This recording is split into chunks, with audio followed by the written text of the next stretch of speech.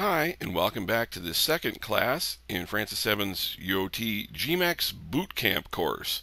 Uh, in this class, we're actually going to be doing some modeling, uh, which will make for a nice change. And you're going to learn what some of these tools in GMAX do, but not all that many. Let's get started. If you have no texturing skills, you are perfectly welcome to use this texture in there.com uh, on any of your models. It is a crate texture. Uh, it's a really poorly made crate texture, but you can use it abs absolutely free. So for uh, this purpose of this lesson and any other thing you want to use it for in there, you can right click on it. Uh, in this case, this is on our home page and I'm using Internet Explorer. And so I right click on the picture and I can say save picture as. If you're using some other web browser, you'll probably have a different way of doing this. So right click save picture as. And out on the desktop, I've made a folder uh, which I've named GMAX Bootcamp. And in there, I'll just give it a name like texture. And I'll click save. And I've saved a copy of this texture. Please don't grab textures off the internet. People are very, very upset when you steal their intellectual property. And we should always be respectful of uh, people's property, e even if it is really a badly made texture, like this one. So now we have our texture and we're ready to go and uh, uh, make our box. So we'll start up GMAX. Uh, this assumes that you installed GMAX the way we talked about in the previous lesson.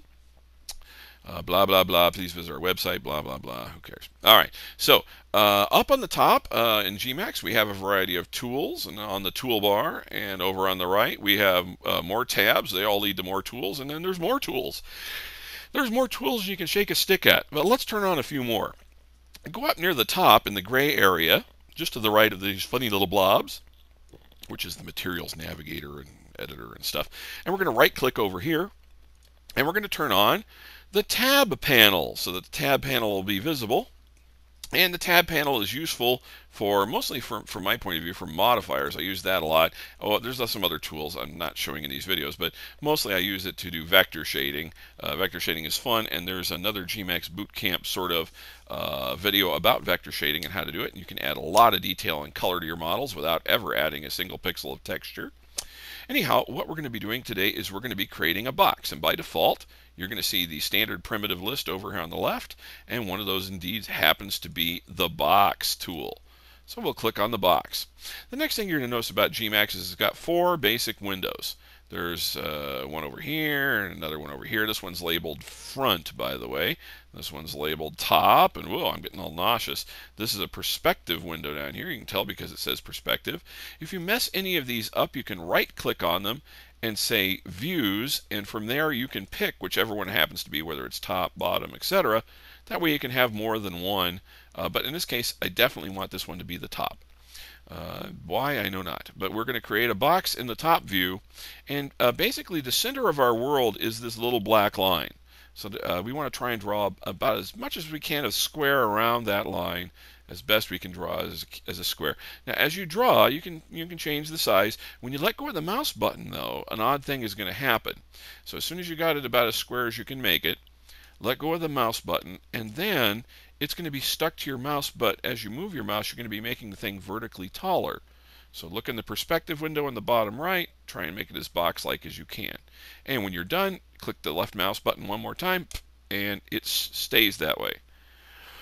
Uh, over on the right, you have a series of tools which will allow you to change how big this cube is, and we are making the cheapest object possible to submit and sell in there. It has the lowest wholesale and pretty much one of the lowest submission costs, but it has to be under a certain size, and that size, if I'm not mistaken, is one meter. So I'm going to make all these one meter, in these boxes. By the way, if it doesn't change its size and shape, it may be that you didn't actually click in another box. So clicking over here again would then make this one take effect. Let's see if that works. There we go. So now I've got this uber small box sort of sitting in here, and it's not quite in the center. So I'm going to introduce you to the Move tool. The Select and Move tool is this tool right up here. It looks like four arrows. We're going to go ahead and click on it. You should see uh, arrows sticking out of all sides of your little box. If you don't, you probably unselected your cube, and you may need to re-click on your cube, small though it may be. Uh, once you've got those arrows sticking out of there, it's time to go down to the bottom thing. We're going to put the box in the center of our universe. So we're going to make all, well, actually, it looks like z is actually 0. But we're going to make x and y be 0. This will put it at the center of our universe. That'll make it easier for us to rotate the cube and look at it.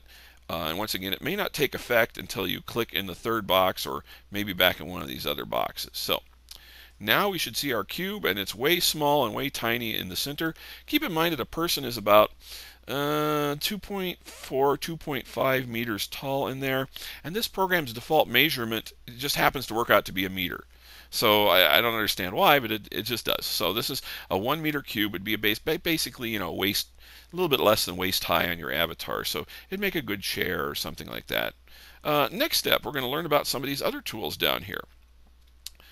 First off, this one here is called Zoom All Extents. And basically, it allows you to zoom in all four panels of the windows, the, the perspective, the top, the front, whatever, when you click that one tool, it zooms you in. It tends to zoom you a little too far. So you may need to either use, uh, the magnifying glass is a good one to use, and in the perspective, there's also this field of view tool. You can use those to zoom back out. If you're off to one side, there's a hand tool, and if you're dealing with the three-dimensional pan, I'm just throwing out 10 million things to confuse the heck out of you.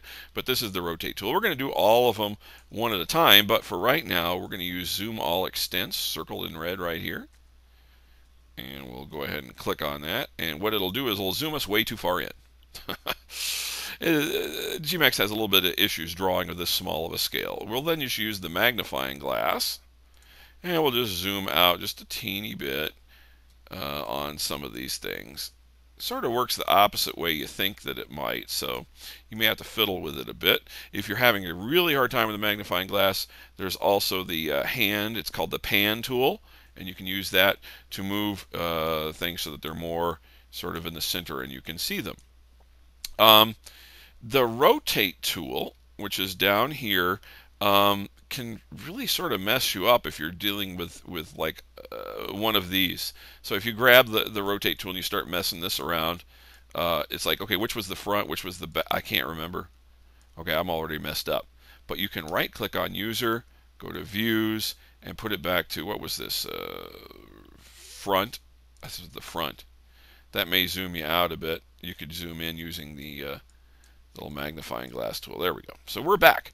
But that rota same rotate tool is pretty darn cool when you use it in the perspective window and you'll probably use that a lot. I'm going to go ahead and move my cube around so I can see like three sides of it. There we go uh, next tool, we're going to go back to the Move tool. I seem to have clicked off of this somewhere along the line, probably when I was grabbing the rotational tool. And we'll go ahead and, and we're going to right click on our cube.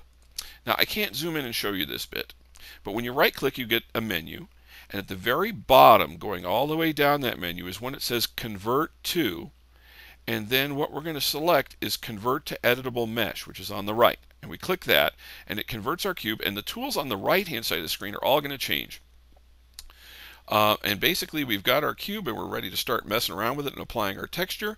So we're going to go up to this modifier list and we're going to pull this triangle down on the modifier list. It's appeared here now that we've right clicked. By the way, if you are having problems right clicking and converting to editable mesh, uh, it may be that you're running another program behind here, like there, or uh, iTunes or Internet Explorer or whatever. So if you see this menu flickering, it probably means you have some other program running either behind or in the background, which is interfering with it, and you may need to quit to do this. Or um, move this off of the window. Anyway, so uh, we've right-clicked to con uh, convert to editable mesh. We're pulling down the thing on the right, and we are going to go down to one called UVW map. Please note there's several that start with U's and several with V's and W's but this is UVW map. And that's the one we want. If you get this right, you should see this little yellow line. And the yellow line shows how the texture is going to be applied to the cube.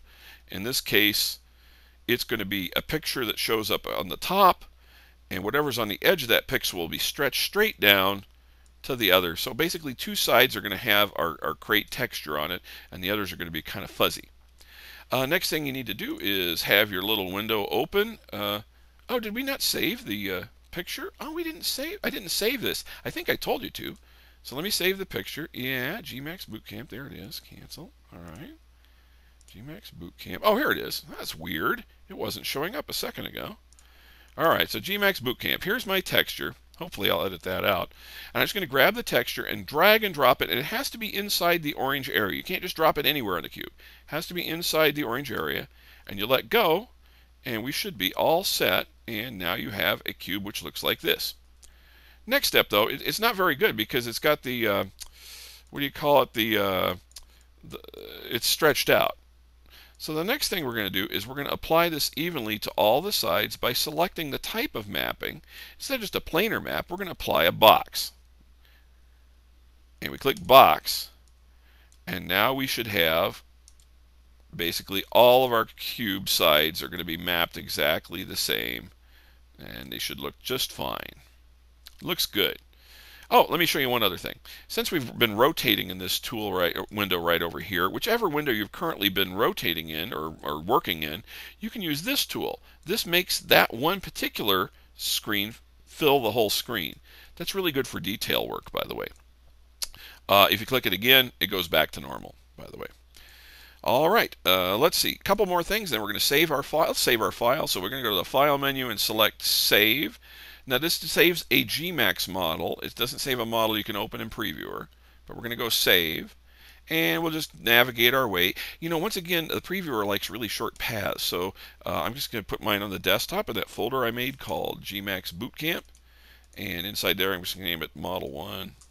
Or maybe, it's probably a good idea to give it a, a decent name. Cube 1 or something, or Crate 1 or something.